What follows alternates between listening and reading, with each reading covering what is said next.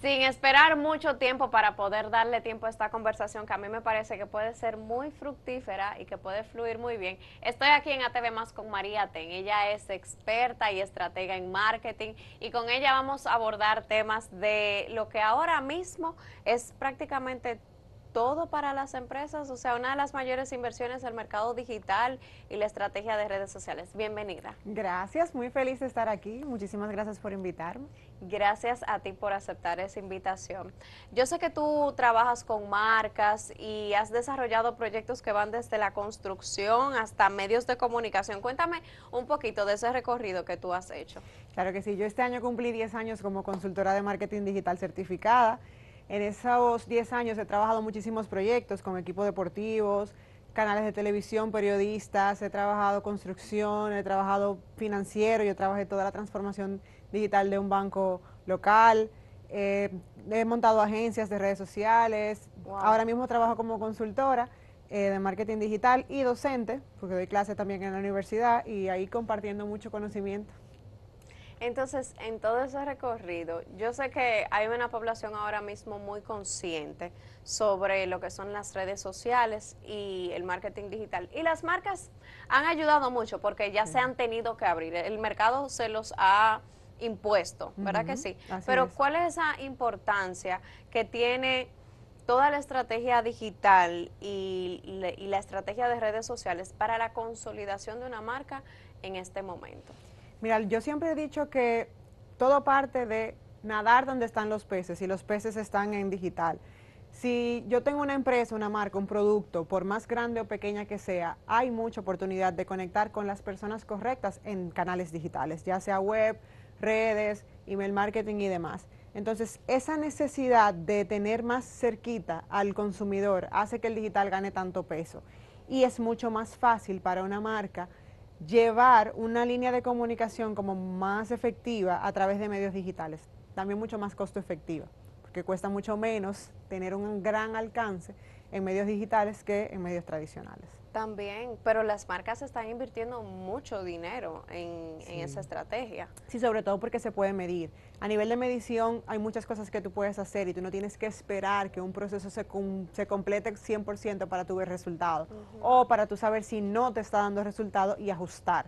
Entonces las marcas han entendido el impacto que tiene el digital y la realidad es que todavía no estamos ni siquiera igualados a lo que es marketing tradicional, pero sí se ha visto un incremento bastante grande en términos de inversión. y, en términos de inversión, ¿cuál es, o sea, más o menos cuál es el promedio que maneja una empresa, vamos a decir, una mediana empresa en, ese sentido? ¿Cuánto yo estoy como, cuánto yo como empleador, como compañía, puedo tener en mente que necesitaría invertir en ese sentido si no lo he hecho? Mira, eso se habla más, más que en número, en porcentaje, porque va a depender mucho mm. de qué nivel de ingreso tú estés teniendo. Normalmente a nivel de marketing general lo que se hace es que se, se determina de un 20 a un 30% del presupuesto total del negocio para inversión en publicidad o para inversión en estrategias de marketing, porque no es solamente publicidad. entonces, un 20 o 30%. Correcto. Ya de ese pie, entonces se va distribuyendo en las diferentes estrategias. Yo soy muy pro de, no dividir lo que es tradicional y digital, porque al final la estrategia como tal es lo que va a regir qué es lo que se va a hacer. Entonces tú puedes tener una estrategia, por ejemplo, de posicionamiento de una marca y tú puedes crear acciones tanto digitales como tradicionales y tener un buen resultado. Y el híbrido yo creo que funciona muy bien. Ahora hablamos también de la gente como marca. Correcto. Eh, y obviamente en, en, el ámbito de las redes sociales también te has visto tal vez involucrada con, con marcas personales. Sí, así es. ¿Cuáles son los mejores consejos que le podemos dejar a una persona que esté iniciando en ese sentido cuando vaya a hacer su estrategia? Claro que sí. Mira, lo primero es que defina qué es lo que quiere lograr y cuáles son esos valores de marca que como persona quiere proyectar.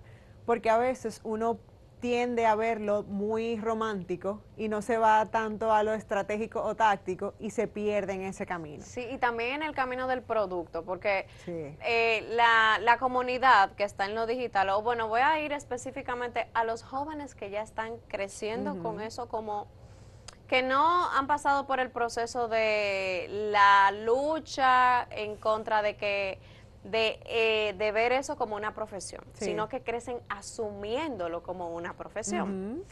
Y vienen con la idea de que simplemente es hacer videitos, como le dicen. El TikTok. O sea, simplemente voy a hacer videitos y eso me va a generar.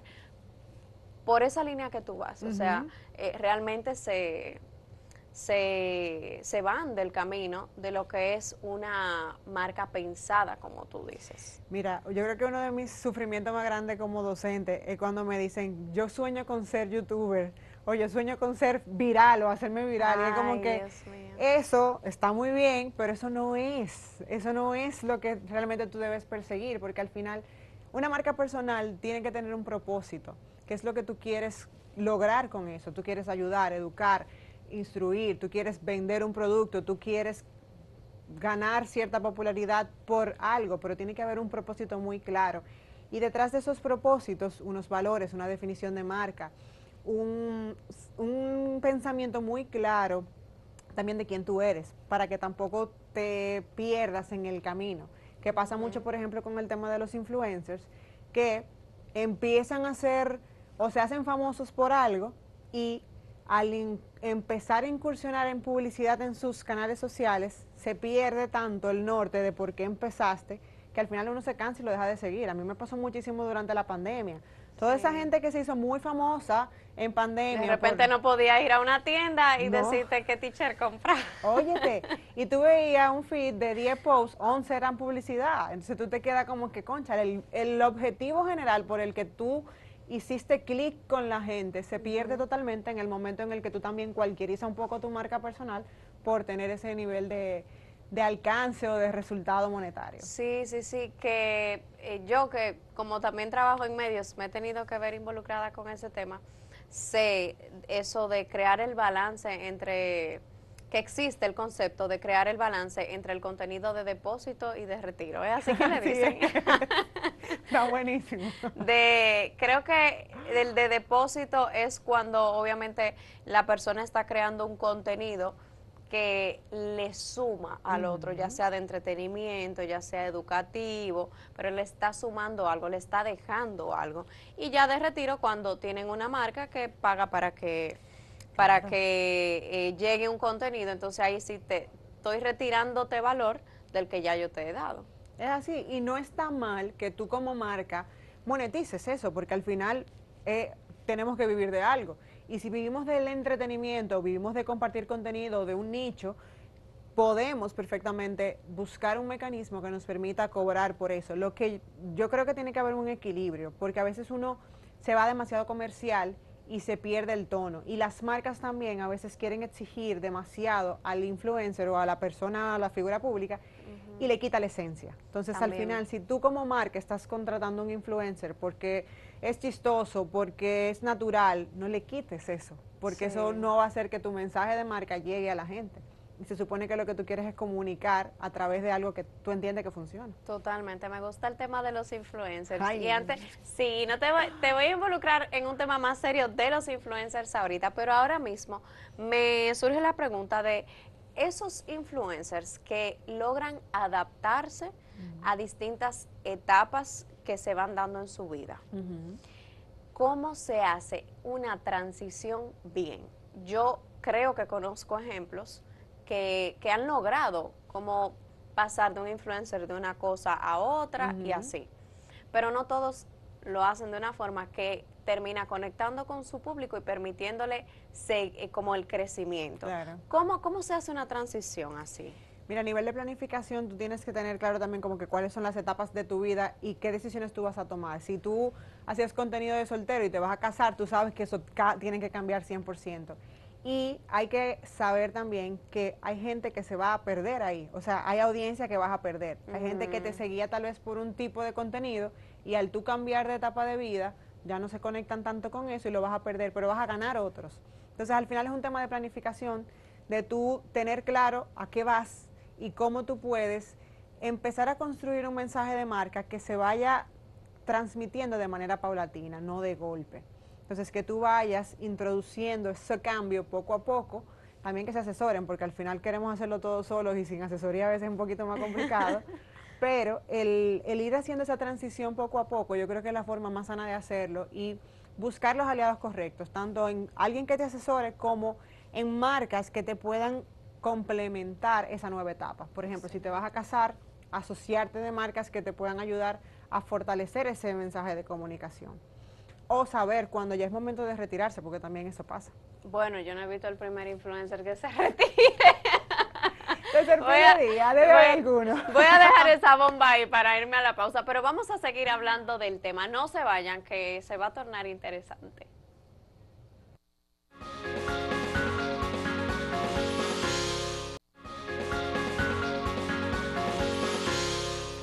ATV Más, hoy nos acompaña María Ten. Si acabas de llegar a sintonizar, ella es experta en marketing y antes de la pausa conversábamos, bueno, la conversación ya se había ido por el lado del marketing de influencers, porque ella tiene años trabajando en todo lo que es redes sociales, desarrollo de estrategia digital y también se ha visto involucrada en ese tema. Hablábamos de influencers y yo quiero ahora entrar de lleno en cómo funciona el marketing de influencer eh, desde las marcas. Porque, bueno, vamos a explicarle a la gente qué es el marketing de influencers, porque yo sé que unos pueden saber lo que es y otros no. Y después, después te hago la otra pregunta. Súper. Marketing de influencer 101. Básicamente es cuando tú eliges un embajador de marca que representa tus valores, que usa el producto y que puede conectar con una comunidad que a ti como marca te interesa. Entonces, no es una persona con muchos seguidores, que ahí es como que la confusión mayor que se da aquí al, momento de seleccionar influencers. Un influencer debe ser alguien que comparta los valores de marca, que use el producto porque tiene que ser algo honesto y real, que, que lo integre en su vida, en su día a día, no algo que se vea forzado o que solamente es un tema de lo hago hoy porque me dan publicidad, mañana consumo otro producto. Normalmente lo que se hace es que tú identificas primero cuál es el objetivo que tú quieres lograr, cuál es la audiencia con la que tú quieres conectar o cuál es ese público objetivo y en función de eso vas buscando los perfiles de influenciadores que pudieses utilizar para una campaña puntual o para una activación o para un evento, dependiendo de lo que sea que, se necesite. Eso es lo que copa ahora mismo el marketing. Las marcas se han ido, claro, porque... Eh, así es que le llegan a más audiencias por esa línea. Pero también hay una como una desvirtuación en lo que es el marketing de influencers, por eso que tú dices. Es como si las marcas no, no le prestaran atención a quienes están usando como imagen.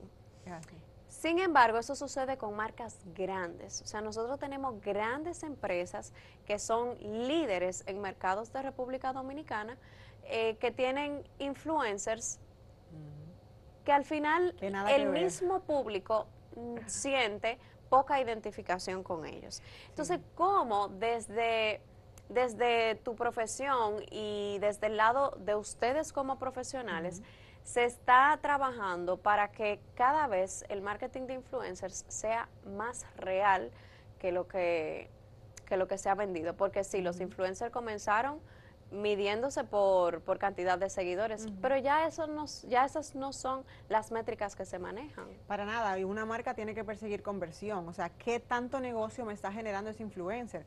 ¿O qué tanta presencia de marca me está generando ese influencer? Porque tampoco todo es venta, y el influencer no está hecho para vender directamente, indirectamente sí, directamente no.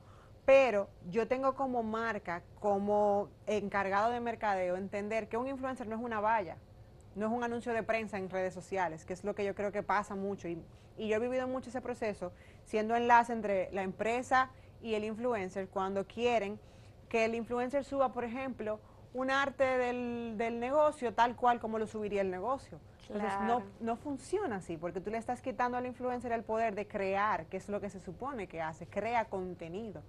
Y él debe de adaptar tu objetivo de comunicación, tu producto, tu marca, a lo que él o ella comunique en sus canales, porque se supone que tú estás buscando una, alguien que represente la marca, no que se convierta en la marca.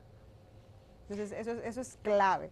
Y buscar a alguien que pueda realmente conectar con la gente, porque al final de nada me sirve, que he visto muchos casos, por ejemplo, esa mesa, qué linda la mesa, y que yo esté vendiendo la mesa como marca, pagándote a ti para que vendas la mesa y la gente diga, ay, qué bien me caes tú, qué linda eres tú y la mesa no sale por parte. al final, ¿cuál es el objetivo de eso? Sí, eh, la imagen sobrepasa eh, tu objetivo como, como empresa. Exactamente.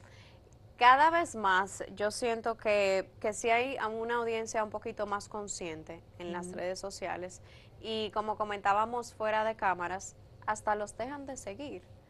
Pero todavía eh, falta como un trabajo de marcas, de depurar, porque eh, yo no sé si las marcas hacen como algún análisis con su audiencia como tal, opinando sobre, sobre los influencers que utilizan. ¿Eso existe? Se supone que si la marca es seria y está invirtiendo dinero en eso, debe tener mecanismos de, de medición. Hay herramientas que lo que hace es que te miden, por ejemplo, el perfil del influencer y qué tan afín es la audiencia que él tiene y ahí tú correlacionas con la audiencia que tú quieres. Entonces tú puedes medir, por ejemplo, este perfil le llega a este público, me interesa, no me interesa, si no me interesa, descarto. Entonces puedes ver un poquito más allá, fuera de la cantidad de likes o de la cantidad de interacciones que esté generando, el trasfondo de eso. Porque también, si yo tengo un producto, por ejemplo, que solamente se vende en Santo Domingo y tú tienes muchos seguidores que están en Santiago, no me sirve de nada contratarte. Entonces, fuera del número alto de followers y demás, que es muy bonito, pero si no hay a nivel más profundo, a nivel de, ese conocimiento de la audiencia, algo que me ayude a mí a conectar con ese target que yo quiero, pues entonces no me sirve. Además de, de lo que tú mencionaste como de ubicarse desde la marca en cuál es el objetivo para poder hacer una buena selección, ¿en qué nosotros estamos fallando? Como país? Yo creo que no nos duele el dinero, es lo primero. Porque si yo voy a poner un presupuesto de marca para llevar un mensaje, yo debería de tomarme un poquito más de tiempo en la selección. A veces uno se va mucho por pasión, porque me gusta ese influencer, porque me cae bien, porque yo conecto, yo como, como, persona, con ese influencer, pero no necesariamente es lo que la marca necesita. Eso es como punto número uno. Como punto número dos, el tema de la libertad de creación. Yo le tengo que dar al influencer parámetros.